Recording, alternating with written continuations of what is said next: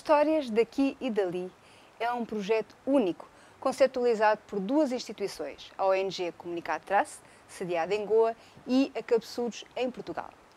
Através da imagem e da palavra, juntaram 500 alunos de Portugal e de Goa. Encontramos com o Rui Andrade, que nos explicou como é que este projeto tomou forma.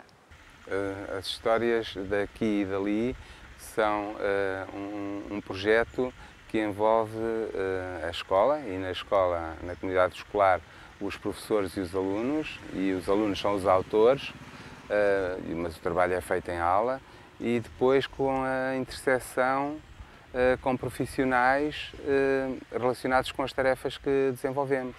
Bom, então é preciso escrever e convocamos um escritor, é preciso ilustrar e convocamos ilustradores, é preciso realizar e então vêm realizadores que vão despoltar hum, o trabalho criativo, vão hum, levar um conceito hum, para depois, e fazer oficinas, para depois eles continuarem o trabalho até, até ao fim.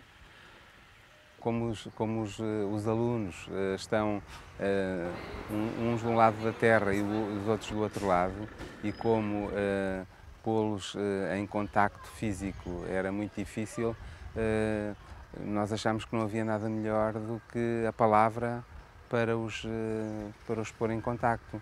Então, nós pusemos, trocámos histórias, a história escrita na escola em Portugal veio para a Índia e a da Índia foi para Portugal, para eles, a partir do, da história, fazerem o, o ilustrarem e fazerem os filmes de animação.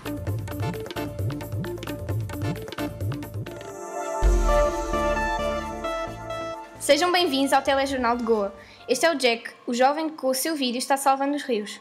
Já não há lixo e, graças a ele e aos seus amigos, agora os rios de Goa estão mais limpos e mais bonitos. Tínhamos um tema que nos une a todos, que é, que é a terra, que é, neste caso concreto, a, a proteção da água, a preservação desse bem tão, tão necessário a todos que é a água. Eh, fizemos, preocupámos com, com a, a poluição nos rios e nos mares. You came back to take your trash, right?